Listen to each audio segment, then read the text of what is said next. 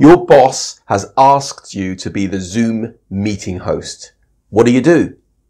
This Zoom tutorial will show you how to host a meeting. I'm Simon and this is Computer Tutoring.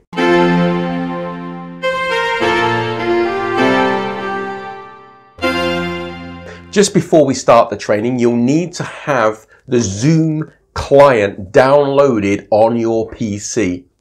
So the first thing you'll need to do is schedule the meeting, get it into your diary. Let's do that. So I'm going to click on this schedule button just here to schedule the meeting. I can type in the meeting. So it's like a YouTube recording session.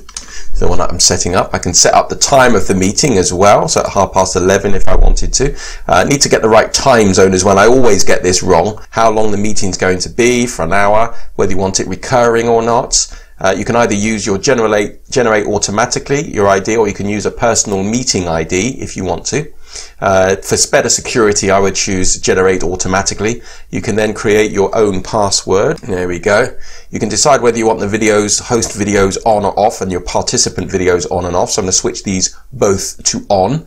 You can decide whether you want the telephone, the computer audio, or the telephone and the computer audio.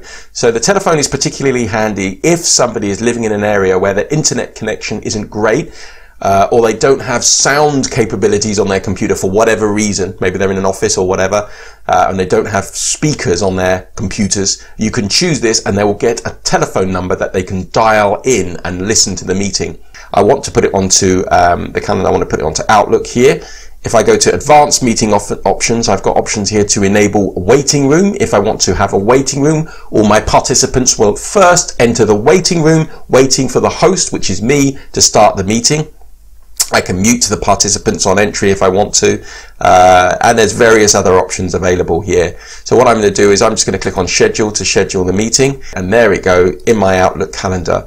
So there we go. Simon's inviting you to a meeting. I've got the link that they can click on, which includes the password. If they click on that link, I have a meeting ID that was randomly generated, and I have the password if they want to join uh, using the traditional way. So that's great. I click on save, pops it into my calendar, and then I can close that one down here like so. So what I can do now is if I want to invite people to the meetings, I can go to the meetings. Here's the meetings here. If I go to show meeting invitation, here's all the invitation, all the meeting invitation I need. I would just basically copy this section here. So all I need is the hyperlink, the meeting ID, and the password. Send that via whatever you decide, you know, whatever technology, email, WhatsApp, whatever. Um, and then they just need to click on the link to join the meeting.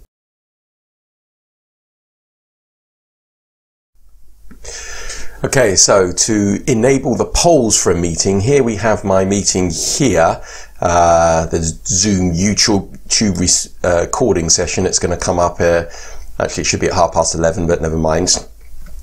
Uh, what I'm going to do is click on my profile picture at the top just here and then I'm going to go down to and click on uh, my profile just here which will open up the website.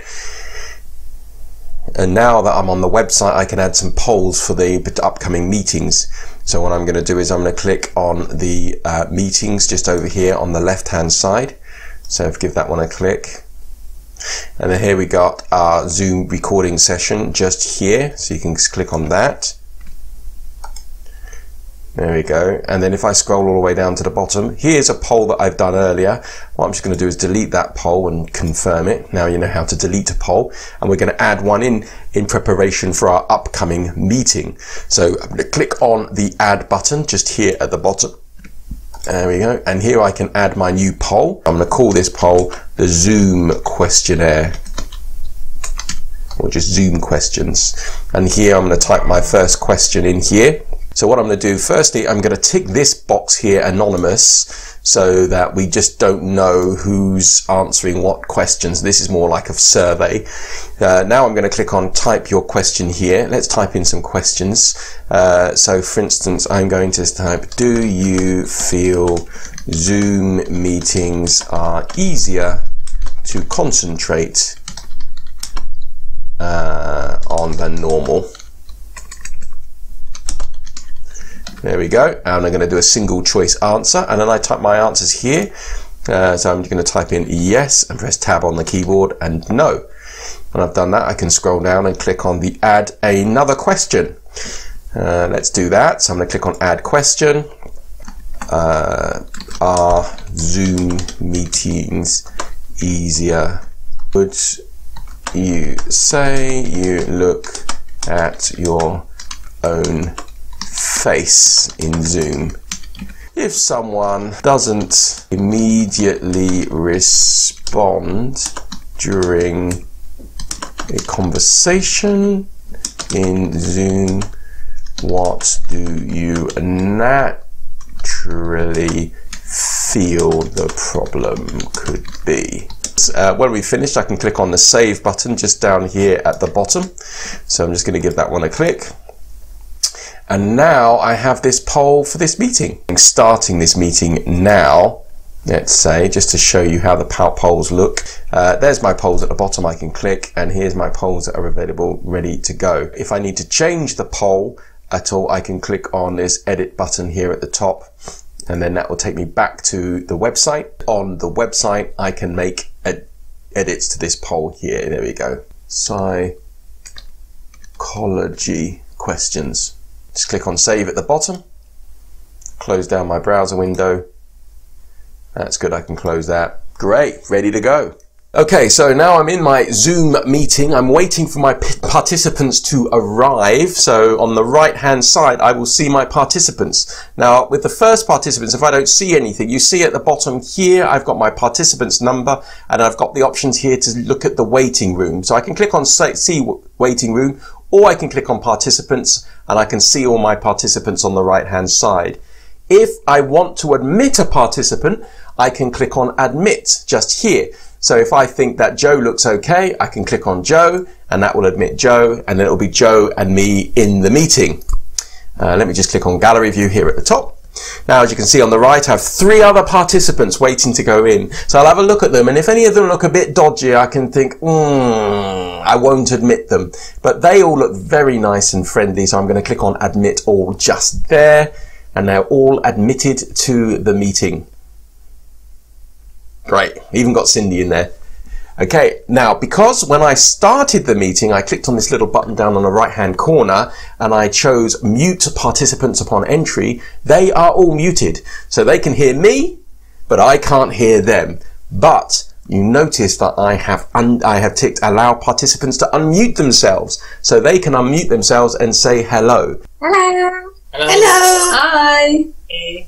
Fantastic. So should you want to record a meeting, be able to access it at another time, you can click on the record button at the bottom here. If you do or you have paid for a professional Zoom account, you have the option to record to the cloud where you get one gigabyte of space. But everyone can record on this computer.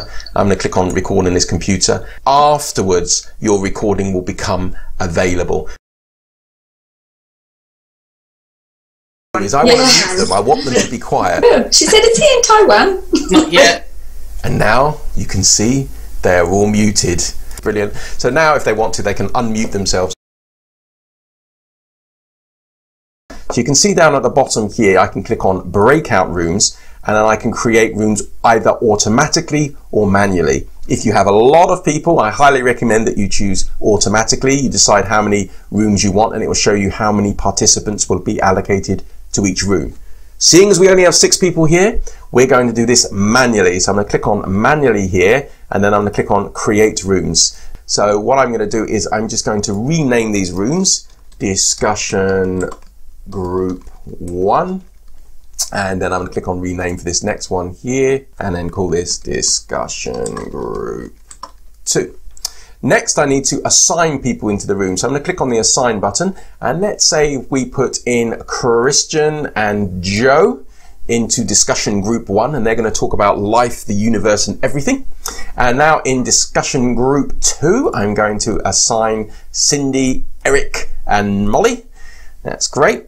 So what I just highly recommend here is if you are expecting other people to attend your meeting, other participants, add extra rooms. So I'm going to click on add room at the bottom and I'm going to rename this as spare discussion room. Because you know what's going to happen. You're going to start your breakout rooms and then somebody's going to come late to the party and then all of a sudden you're going to have to create extra breakout rooms and you can't do that, not at this moment in time. So when I click on open all room, rooms here at the bottom, which I'll do, they will get an invite to join the various breakout rooms. Bye bye guys!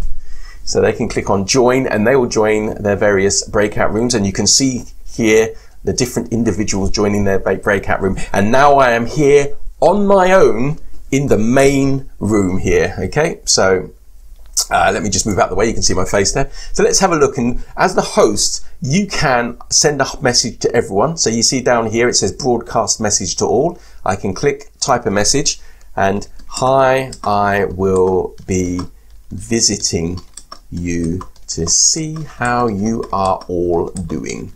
And then I can broadcast that and then that will be a message that's sent out to all rooms so they can expect me. Now I can visit some rooms. So let's do that. I'm going to join first uh, Cindy, Eric, and Molly. So I'm going to click on this room and click on join and then say yes to join. Normally comes up as a small window, so I'm just going to maximize it. Hey! And there we go. I'm in this breakout room. What's the discussion here in discussion group two? Is it going well? It's going very well. Very. Going well, thank you. Brilliant, excellent. So I'm getting a bit bored with this room now as the host, so I'm going to be leaving it. So I can click on the leave room button. Notice bottom right hand corner, click on leave room, and then I'm just going to leave the breakout room. Notice I can also leave the meeting and end the meeting as well, but I'm just going to leave the breakout room. Go back to the main session here. Uh, I'm going to click on my breakout rooms here at the bottom, and I'm going to join discussion group one. So click on join. Hello, this this room sounds a lot more interesting as they're chatting away. Brilliant, excellent. All right, so there we go. So I'm in this breakout room here. All right, so I'm going to leave this room and I'm going to get everyone back into the main room. And click on leave room, and I'm going to click on leave breakout room. Then go to breakout rooms just here, and then I'm going to broadcast a message saying I will now close all the rooms. So I'm just going to close all the rooms and I'm going to click on close. They will get a message and they, as you notice at the top, get 60 seconds to close their rooms and come out into the main room. So some people might come a little earlier, some people might come a little later. As you can see, I'm still muted down at the bottom here, so I'm just going to unmute myself and say welcome everyone back. And close the breakout rooms here. Great. Thank you guys. Welcome back. Great, so let's move on to polls. So you remember the poll we set up earlier about those Zoom psychological questions? It's now time to test them on our team here. So to start your polls, you can click on the polls at the bottom just here, and here are my questions. Remember, we can click on edit if we want to change it. Let's launch the polling, which you can do by clicking on the launch polling button at the bottom. So each member will get, or each participant will get um, the poll where they can answer the questions by clicking on the various buttons and then you can actually see live updates right in front of your very eyes. Coming up to one minute so we've got four out of five just waiting for the last one there. That's great. I've got 100% so I'm going to click on end polling. Now if I want to share the results with others um, let's do that so everyone can see. So I click on share results and then everyone else can see the results of the pair uh, result, results of the uh, poll Oh wow, Zoom meetings are easier for you to make a comment. Wow, oh, that's good. It's a bunch of extroverts you are. If I want to relaunch po- polling, obviously I can click on that relaunch button, but I finished with polling for the time being, so I'm going to click on the close button just there. Sometimes during a meeting, you want your participants to see your screen. So how do you do that? Well, you might have noticed there's a nice little big bright green share screen button at the bottom. Uh, what I highly recommend is you check both the share computer sound and optimize screen sharing for video clip just to make sure everything's nice and smooth. Um, and then actually share the application. It provides a better security so people don't see your entire screen. So I'm going to share my website here, which is the free online computer training. And then I'm going to click on share, just like so. That's good. I'm now sh- screen sharing, so I can now scroll up and down. Hopefully now everyone can see my screen. Let me move that recording thing out of the way. Uh, now what I can do is if I want to annotate on the screen and say, right, if you want free computer training on Zoom, you can scroll down to the bottom and there's a little option for Zoom tips. And then just to really highlight, I can use this annotate window just here. So if I go to draw, I can choose a nice pink square and then draw a box around an area that I really want to highlight.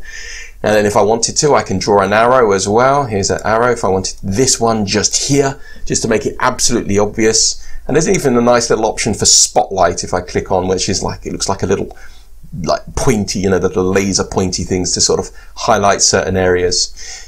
If you want to clear your annotations, I can click on this clear button here at the top and go to clear all drawings. Okay, and then I can close my annotations window down. I'm ready now to stop sharing, so I'm just going to click on this stop share button just here. Eric there, uh, I believe that you've been working on something you want to show us all, so I think I've allowed you to share the screen. So I'm going to click on this drop down menu. Oh, not that one is there. So I'm just going to click on the drop down menu just to the right of share screen, go to advanced sharing options, and then where it says who can share, I'm going to make sure all participants are selected. And now Eric will be able to share his screen. Whoa, Eric, that looks really complicated. So there we go. That's what Eric has been working on. And what is more important, you know, the annotations that I've just shown, I can actually use those annotations. If I go down to view options and go to annotate just here, I can use these on Eric's screen. So if I go here and I choose draw, I go to this here. If say I point to this, I say, what does that mean? Can you see that, Eric? Yes, I can. Fantastic. So I'm going to click on clear for my annotations just here and go to clear all drawings, close down the annotations, go to view options, and then I'm going to click on stop participants sharing, which I can do as the host. And now looking at everyone's beautiful faces. yeah, no, thanks for that, Sally. No, thank you. If oh, you bored one Remember that time? Remember the time. yes. Aw, Thank you, guys. Nice No worries, you guys. Thanks. Have a lovely day. You too. See ya. Bye. Follow us on Instagram. So you can see I want to finish the meeting. I can click on end meeting for all and that is it. If you've got anything out of this tutorial, give us a thumbs up. Thank you very much. If you haven't already done so, click on the subscribe button, click on the notifications button so you don't miss a thing. The next video we'll be looking at how do I draw annotations like I can in Zoom in Microsoft Teams. That's what we're going to look at next time. So make sure you keep an eye out for it. I just want to say thank you so much for watching.